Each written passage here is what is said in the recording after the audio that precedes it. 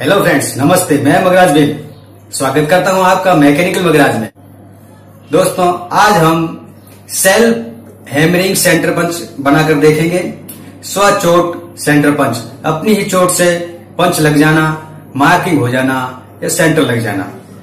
तो दोस्तों, जो लोग इसके बारे में पहले से जानते हैं, ये वीडियो उनके लिए नहीं है, क्योंकि वो बाद में कमेंट करेंगे, ये तो मैं जानता था। इसमें नया क्या है, ये तो सबको पता है। वगैरह वगैरह। और हाँ जो लोग इसके बारे में नहीं जानते हैं, ये वीडियो उनके लिए है। तो आइए देखते हैं।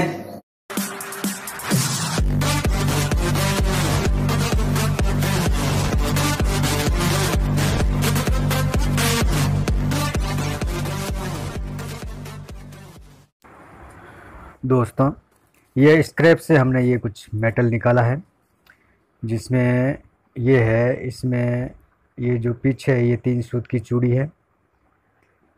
और ये दस दस एम एम साइज़ है, तीन सूत की चूड़ी। ये तीन सूत की नॉब है हमारे पास। इसमें तीन सूत का चाकी है, जिसको हम इस तरह से कस लेंगे। इस तरह से। और एक ही पीस है, इसको हम साढ़े दस एम साढ़े दस एम का सुराख करके इसमें बिठा लेंगे। और इसके पीछे ये स्प्रिंग लगा लेंगे ऐसे, और पीछे ये नॉब कस लेंगे। ये नॉब है जो ये पीछे कस देंगे, और ये दो पिन हैं। इन पिन को हम यहाँ पर इस तरह से वेल्ड कर देंगे। इस तरह से ये पिन वेल्ड हो जाएगी। और एक हमें टूटा हुआ टप चाहिए। हमारे पास ढाई का एक टूटा हुआ टप है ये। तो इस टप को हम क्या करेंगे इसमें सुराख करके ढाई सूत का, आठ एम का सुराख करके इसमें हम बिठा लेंगे। तो सबसे पहले हम इसको लेथ मशीन पर क्लैम कर लेंगे, थ्रू चक में क्लैम कर लिया। जैसा भी चक है, आप उसमें सीधा थ्रू चक, थ्रू क्लैम करके, और इसमें जो भी टप है, उस साइज़ का आप इसमें ड्रिल कर दीजिए।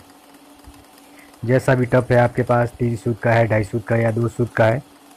जैसा भी टप है, टूटा हुआ या जो भी कोई हार्ड पीस है, उस पीस को यहाँ पर सुराख करके बिठा दीजिए। तो इस तरह से मेरे पास ये ढाई सूत का टूटा हुआ टप है तो मैं ढाई सूत का इसमें सुराख कर लेता हूँ यहाँ पर।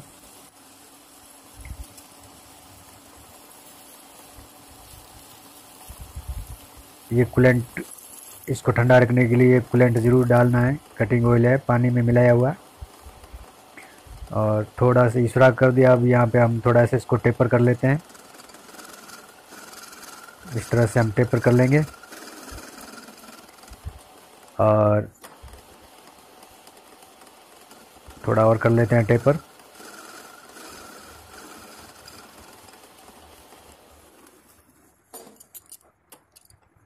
अब हम इसको बाहर निकालेंगे और इस पर फ़ाइल लगा लेंगे, चमका लेंगे इसको। पॉलिश कर लेंगे। अब हम इसको उल्टा पकड़ेंगे और पीछे भी इसके फ़ाइल लगाकर थोड़ा चमकीला बना लेते हैं इसको। ये इस तरह से। अब जो ये हमारे पास, ये इस तरह से ये टप इसमें हम बिठा देंगे। चोट मार के इसको बिठा देंगे अंदर। और जो हमारे पास दूसरा पीस था, इसको हम साढ़े दस एम का सुराख करेंगे इसमें। तो सबसे पहले हम इसको पकड़ के और इसमें पीछे फेस कर लेते हैं इसको।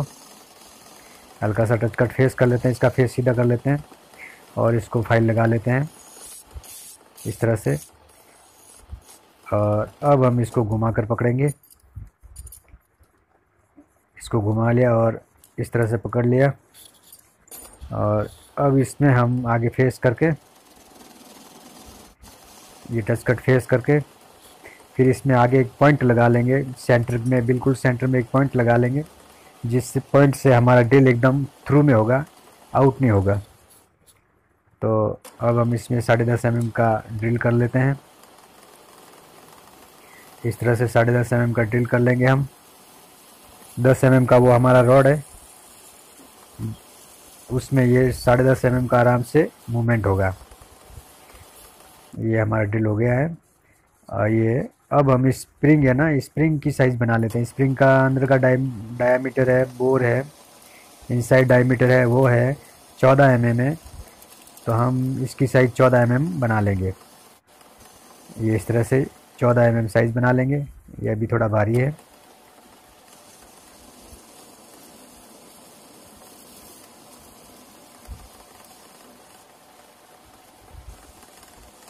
अब चेक करते हैं। ये हाँ ठीक है। तो इसको हम कट लगा के लगा लेते हैं ऐसे। और अब इस पर थोड़ा सा फ़ाइल भी लगा लेते हैं।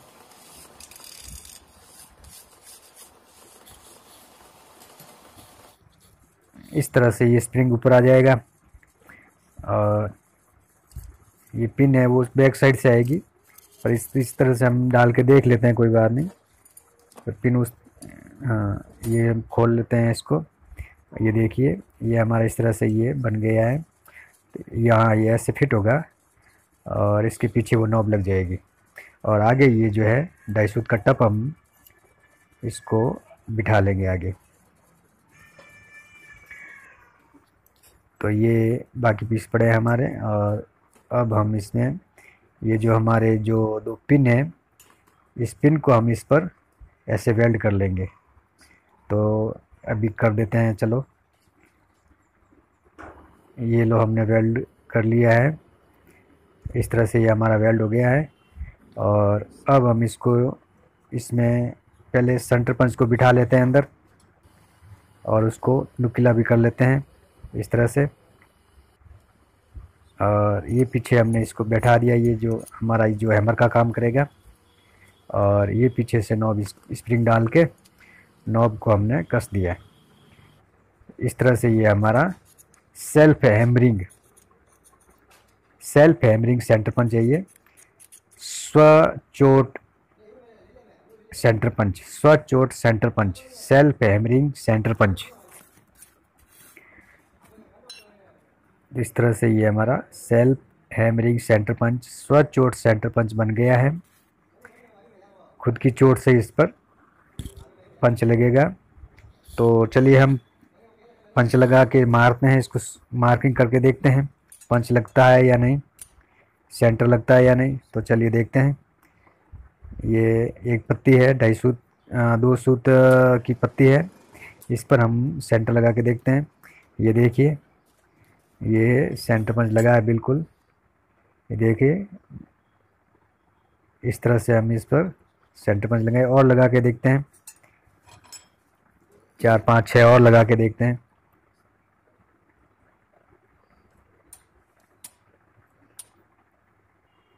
देखिए, लग रहे हैं बाकायदा ये काम कर रहा है। ये देखिए, मैं सारे लगा के मैं आपको बताता हूँ, चार, पाँच और लगा देता हूँ मैं।